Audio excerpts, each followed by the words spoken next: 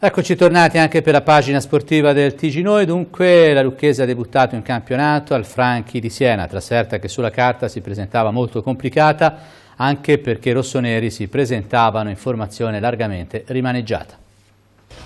Debutto al Franchi di Siena per la Lucchese rimaneggiata da molte assenze, infarcita di giovani ma vogliosa di ben figurare al cospetto della blasonata Robur. Circa un centinaio sostenitori della Pantera calati da Lucca in una serata ancora tipicamente e pienamente estiva. Lopez recupera De Vena che fa coppia con Bortolussi e mette specie mediana, per il resto è l'11 annunciato. Maglie e Del Sante si accomodano in panchina. Il primo tempo vede i rossoneri giostrare con buona disinvoltura ed è proprio la squadra di Lopez che si fa preferire sul piano del gioco. I primi 20 minuti sono di pura schermaglia tattica. Al 23 la prima vera occasione capita sui piedi di Bortolussi, ma Pane attento. Ci prova anche il vivace Arrigoni, mentre Federico Russo scuote la gara con alcune violente accelerazioni che i difensori senesi mostrano di non gradire. Dall'altra parte attenzione all'ex Marotta, che però non è preciso. Insomma, una prima frazione di gioco che non offre grandissimi spunti, ma nella quale la giovane lucchese fa la sua bella figura. Il refrain del match cambia però nella ripresa, scosso da mister Mignani, ora il Siena è più determinato e cattivo. Prendono campo i bianconeri locali e la lucchese è costretta sulla difensiva. Al decimo la Ropur passa, l'azione si sviluppa sulla destra con un lungo traversone che attraversa tutta l'area e sorprende l'imbambolata difesa rossonera, dall'altra parte sbuca Cristiani che mette in rete per il punto del vantaggio. Lopez allora prova a cambiare dentro del Sante, Cardore e Merlonghi, ma la sostanza non cambia. Anzi, alla mezz'ora il Siena potrebbe chiudere il match, ma la conclusione di Boulevardi si spegne sul palo. Solo nel finale, 4 minuti di recupero, la Lucchese cerca un generoso ma sterile assalto, una punizione sprecata da Rigoni è l'ultima chance. Finisce 1-0 per il Siena che vince con merito, pur senza incantare. La Lucchese incassa una sconfitta che ci può stare, riparte dal buon primo tempo, consapevole che devono rientrare alcuni giocatori fondamentali, Fanucchi, Tavanti, Cecchini e Nolè.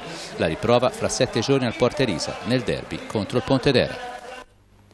Vediamo il quadro quasi completo dei risultati della prima giornata del campionato di Serie C, Girone A.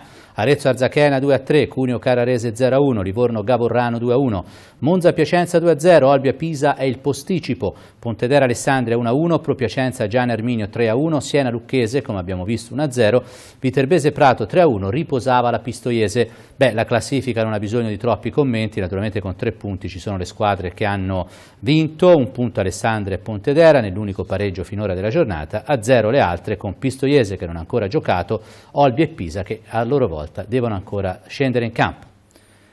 Siamo al calcio femminile, nella prima gara del triangolare di Coppa Italia giocata a Porcari, l'associazione calcio femminile lucchese è stata battuta per 3-0 dal forte Empoli Ledis che va ricordato e con pagine di Serie A. Tutte le reti nel primo tempo, grande prova tra le rossonere del portiere lucchese Anna Landi. Domenica prossima la squadra eh, di mister De Luca giocherà la seconda partita del Gironcino sul campo del Pisa. Campionato di Serie B, ricordiamo invece, comincerà solo il primo ottobre. Calcio giovanile al campo sportivo di San Macario andata in scena la seconda giornata del settembre lucchese riservata alla categoria juniores.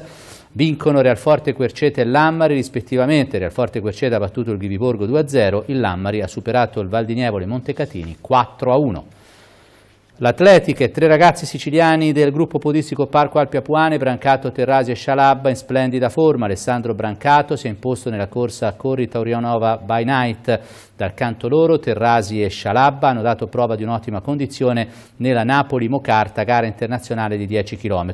Prestazioni che fanno ben sperare in vista della finale nazionale di 10 km su strada di Dalmine che vedranno la squadra del presidente Graziano Poli tra le protagoniste. Dopo i successi di Delle Foglie a primi d'agosto siamo al ciclismo, il Gragnano Sporting Club si ripete anche in Francia nella prestigiosa gara tappe 4 Jours de Provence. Dopo una serie di ottimi piazzamenti, l'acuto eh, della, della, formazione giallonera diretta da Marcello Massini è stato di Camberagi Giuliano che ha vinto allo sprint la quinta tappa e si è aggiudicato anche la speciale classifica a punti. Siamo al basket, torna a metà settembre con la terza edizione il prestigioso trofeo Lovari Memorial del Bono. avete un appuntamento con il basket, il grande basket. Segnatelo in rosso sulla vostra agenda. Le date sono quelle di venerdì 15 e sabato 16 settembre. Il luogo è il Palatagliate di Lucca. L'evento è la terza edizione del trofeo Carlo Lovari. Nelle edizioni precedenti la manifestazione, che si sviluppa nell'arco di due giorni, ha sempre riscosso un notevole successo tecnico e di pubblico. Gli sportivi, come si può intuire, sono accorsi numerosi sulle tribune del Palatagliate, anche per l'alto livello tecnico del torneo.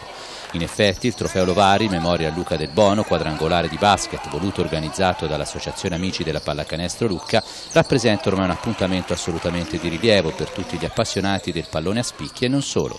Tra l'altro il quadro delle partecipanti è ancora una volta strepitoso. Ci sarà infatti niente meno che la mitica Olimpia Milano, la squadra più titolata in Italia, che va a caccia di riscatto dopo un'annata da dimenticare.